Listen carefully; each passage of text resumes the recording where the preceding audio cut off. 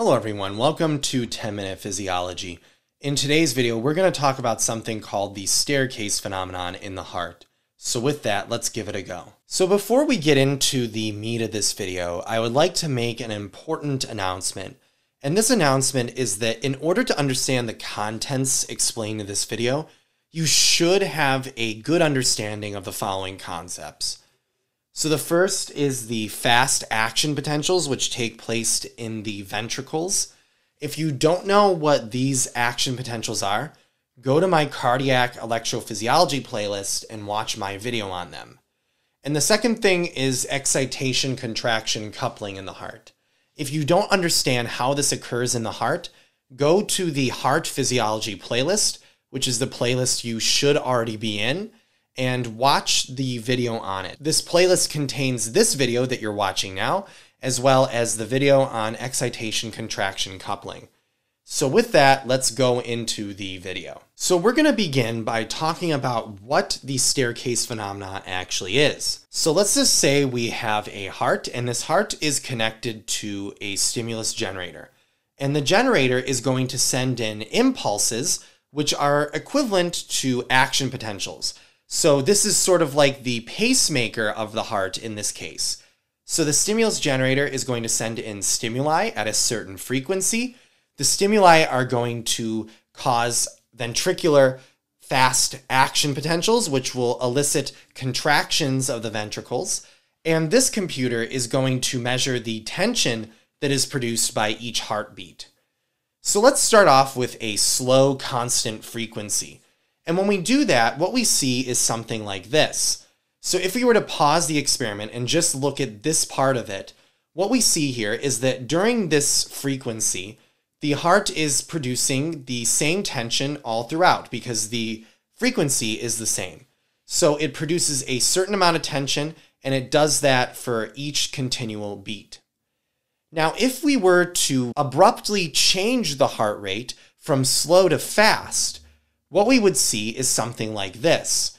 So if we were to abruptly change the heart rate to a faster heart rate, what we would see here is that the tension produced by each beat would gradually progress upward until we get to this point.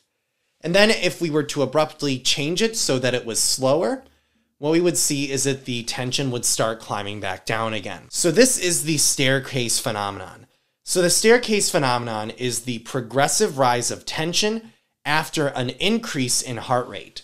So remember that in the experiment, we had a, the heart starting off at a slow heart rate.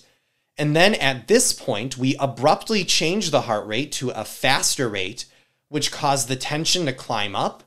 And then after we got to a certain point, we brought the heart rate back down abruptly, which causes the tension to fall back down again.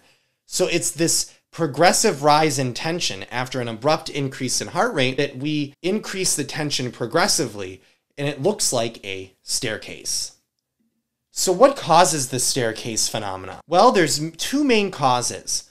The first is an increase in the calcium content in the sarcoplasmic reticulum, and the second, which is tied to the first, is an increase in calcium release from the sarcoplasmic reticulum.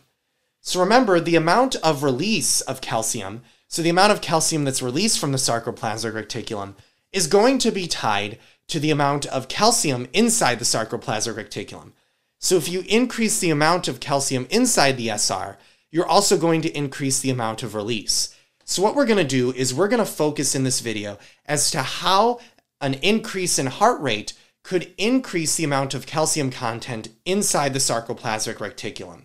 And we're going to be looking at that in great detail for the rest of this video. So, in general, there are three causes as to why an increase in heart rate would lead to an increase in sarcoplasmic reticulum calcium content.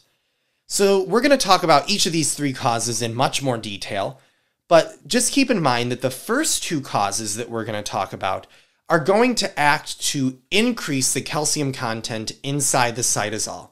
So they're increasing the amount of calcium inside the cytosol. The third cause is going to use that result. So it uses the fact that the first two increase calcium content. So it's going to use that increased calcium content in order to increase calcium uptake into the sarcoplasmic reticulum. So the third cause is going to use the first two in order to get its effect.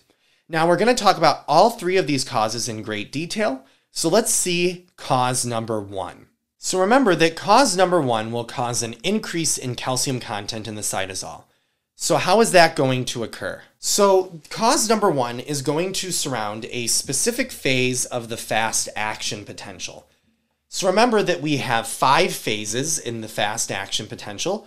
Phase zero, one, two, three, and four. So the phase that this cause is going to attack is going to be phase two or the plateau phase. So let's just remind ourselves of what phase two encompasses. So remember that in phase zero, we had sodium influx into the cell. And this sodium is going to depolarize the cell membrane. And inside the cell membrane, we have L type calcium channels. And these calcium channels are going to open in response to the depolarization that occurred in phase zero. So when these channels open, calcium flows into the cell, which depolarizes the cell, which causes that plateau phase that we see in phase two. So, how is a faster heart rate going to affect this plateau phase? Well, remember that a faster heart rate means that there is a higher frequency of action potentials. This means that there is more action potentials per unit time as we increase the frequency. So, this higher frequency of action potentials provides a larger aggregate period of calcium entry through these channels. So, in other words, by increasing the number of action potentials per unit time, you increase the number of phase twos. And as you increase the number of phase twos, you increase the amount of time in which calcium is allowed to flow into the cell through phase two. So, this increase in the aggregate period is going to lead to an increase in calcium content in the cytosol. So, that is going to be cause one. So cause 2 is also going to cause an increase in calcium content in the cytosol. So how is that going to occur? So in order to understand that, I am going to remind you as to how calcium is removed from the cytosol after the cell is going to contract. And we're going to see why we're talking about this when we look at the effect of an increase in heart rate in, on these things. So remember that inside the plasma membrane, we have the sodium potassium pump, which is going to drive a number of the processes that the cell uses in order to remove calcium from the cytosol, which will allow the cell to relax. So the first one is going to be the sodium calcium exchanger, which uses the downhill movement of sodium to drive the uphill movement of calcium, removing it from the cytosol. Another one is the PMCA, which uses ATP in order to pump calcium out of the cell. And then the most important one is SERCA, which uses ATP to pump calcium into the sarcoplasmic reticulum and it pumps two protons out. So this is the most important of all of them because remember, the calcium that is in the sarcoplasmic reticulum is going to be released from the sarcoplasmic reticulum during excitation contraction coupling, which will allow the cell to contract. So, how does an increase in heart rate affect this mechanism? And how does this effect lead to the staircase phenomenon? Well, remember that when we increase the heart rate, we increase the action potential frequency. And when we do that, we also increase the depolarization frequency. So, what I mean by that is remember in the fast action potential, we have phase zero, and phase zero is when you have a lot of sodium entering into the ventricles.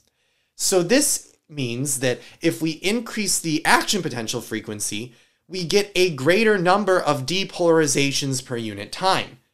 This means that we get a increased level of sodium. So this sodium is actually going to interfere with the mechanisms of calcium removal above.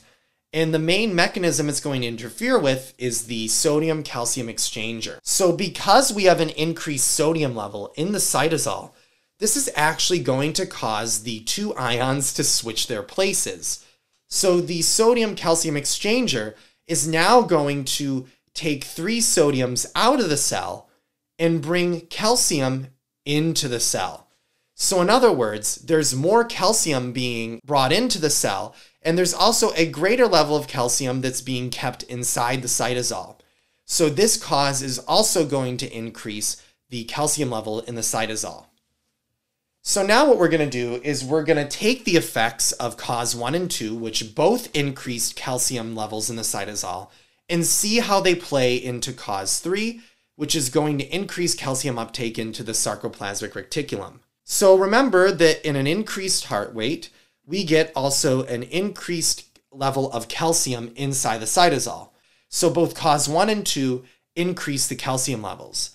So this increase in calcium levels means that more calcium is going to bind to calmodulin.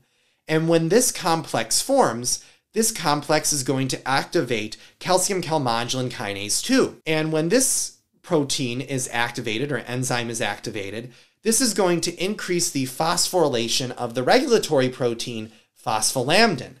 And when phospholamban is phosphorylated, this is going to increase the activity of SERCA, which will lead to an increase in calcium uptake inside the sarcoplasmic reticulum.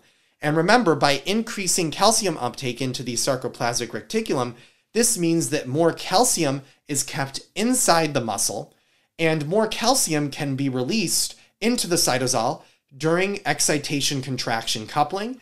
And when you increase the amount of calcium going into the cytosol, this increases the force of contraction. So in this video, we talked about what the staircase phenomenon was, and we also talked about the three causes of the staircase phenomenon. I hope this video helped you understand what this is, and I hope to see you in the next one. Thank you for watching, and I hope to see you next time.